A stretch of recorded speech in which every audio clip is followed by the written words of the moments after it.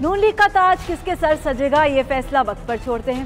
ذکر ہو جائے اس خدشے کا جو مریم نواز کے دل میں پل رہا ہے۔ مریم نواز نے والد کے کھانے میں کچھ بھی ملانے کا خدشہ ظاہر کر دیا ہے۔ جبکہ ترجمان وزیر اعلیٰ پنجاب شہباز گل نے مریم نواز کے گھر سے آنے والے کھانے پر خدشات کا اظہار کر دیا ہے۔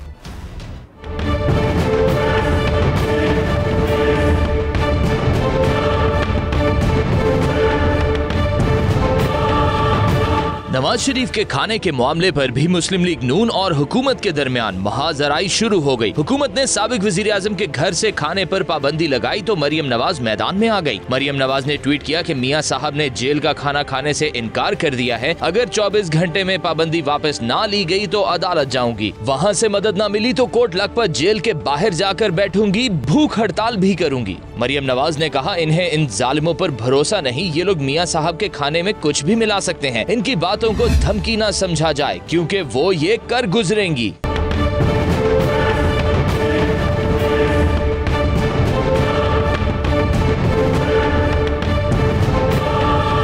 ترجمان وزیر اعلیٰ پنجاب شہباز گل نے کہا، نواز شریف کے لیے گھر سے جو کھانا آ رہا تھا، اس پر تشویش ہے۔ انہیں جیل مینول کے مطابق رہنا پڑے گا۔ حکومت کی طرف سے سابق وزیر اعظم کو کک مہیا کر رہے ہیں۔